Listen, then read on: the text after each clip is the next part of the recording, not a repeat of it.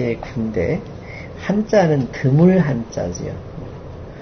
범 30장이라 1장입니다.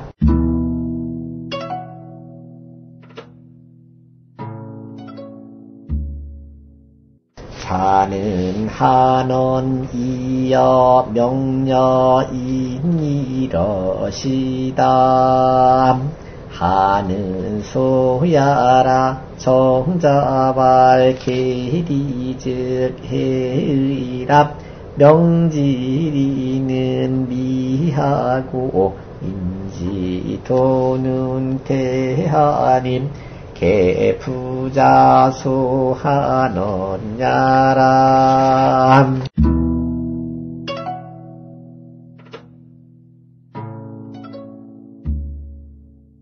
공자께서는 한언 드문드문 말씀하셨다. 극히 드물게 말씀하셨어요. 뭐에 대한 얘기를 세 가지를 이 이득 따지는 거 이. 이의 반대는 이롭다 반대는 손해예요. 그죠? 손익 이득 그걸 드물게 말씀하시고 그 다음에 명 천명 그리고 인 당신이 인이 소중하다고 하시면서도 인을 사람들이 실천할 수 있도록 방법은 많이 말씀하셨는데 인이라는 것이 무엇이다라고 딱 잘라서 말씀하신 적은 드물어요. 한자는 드물 소자의 뜻이다 해야지. 정자발 계리즉 해위라 그 계자는 계산할 계 따질 계자지요. 이 이익을 따지게 되면 의를 해치는 일이야.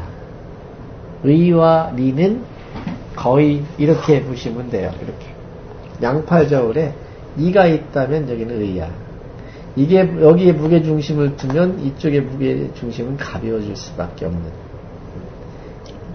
그렇게 따져서 여기처럼 계리 즉 해의야. 일을 계산하면 의를 해치는 일인지라. 또 명지리는 분명히 이 글 속에 가만히 보시면요. 이치가 계속 나와요. 그죠? 명에 대한 이치는 천명, 운명, 그죠? 숙명, 이런 명에 대한 이치는 미, 은미에 잘 드러나지가 않아. 그래서 이제, 어, 옛날에 비서들 있거든요. 비밀스러운 책, 그런 책들을 맨 앞에 보면은, 예? 비인 부전 이런 말이 써 있어요. 거기 이 글을 줬을 때 그 글을 알아보, 알아먹지 못하는 사람한테는 전하지 말라 이렇게 써 있거든. 비인부전인데 그것처럼 여기도 그 은미한 이치 그런 것들은 그 해당자가 아니면 그거에 대한 말씀을 안 하신 거야 이제. 즉 알아듣지 못하는 사람한테는 그런 말씀 안 하셨다 보시면 돼요. 공부를 해서 아 그걸 얘기해도 알아듣겠구나. 그럴 경우 또 그 사람이 질문을 파고들면서 할 경우에만 아 그건 그 사람이 알아듣게끔 명에 대한 말씀을 하신 거예요. 인지도 인, 인은 또 한없이 큰 거예요 이게 작게는 작게는 사람을 불쌍하게 여기는 마음이지만 더 크게는 우주 생명의 이치 자체가 인이에요. 절대로 인은 인은 살리는 이치지 죽이는 이치는 없는 거거든요. 생생질이니까. 네. 그래서 하나는 너무나 은미해서 알아차리기 어렵고 하나는 너무나 크다 보니까 그 얘기를 했을 땐 이걸 감당을 못하니까 그거는 안 했고 하나는 또 의리를 해치기 때문에 못했다 이거예요.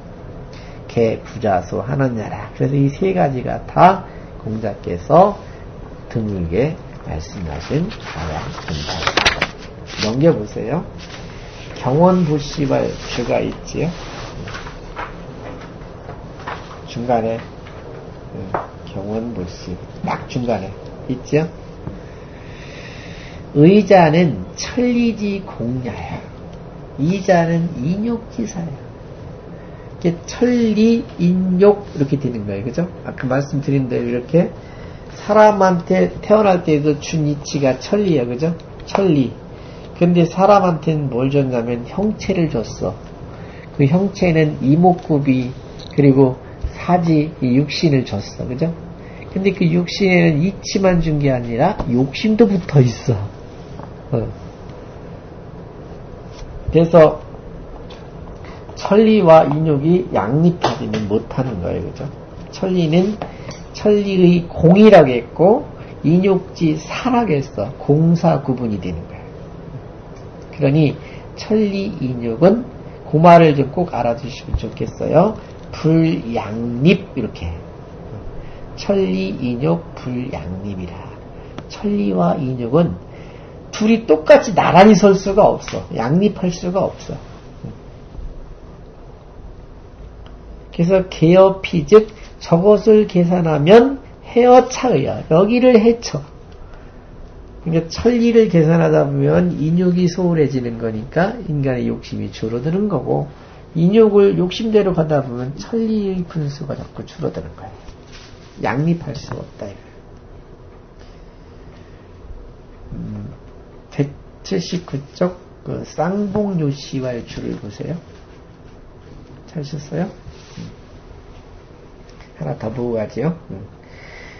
그러면 지금 여기는 한언이라겠잖아요. 드물게 말씀하셨다겠잖아요. 논어를 정리를 해보면 부자 유 상언자는 공자께서 항상 말씀하신 거는 뭐였지요? 저 위에서 배웠지요? 시서 침례. 그거는 늘 말씀하셨다겠어요. 그죠? 음. 그런가 하면은 유 불언자는 자불어 괴력 난신 이거 배우셨죠. 그죠? 음. 음.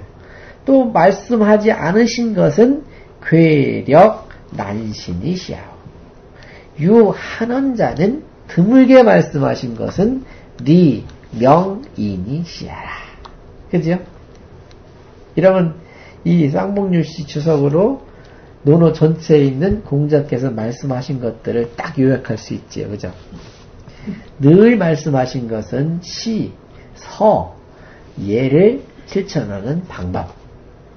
또 말씀을 안 하신 것, 정말 잘 안 하신 것은 귀한 일, 또 힘쓰는 일, 어지러운 일, 또 귀신에 대한 일을 잘 말씀하지 않으셨고, 아주 드문드문 말씀하신 것은 이, 그리고 명 인, 이거 했다.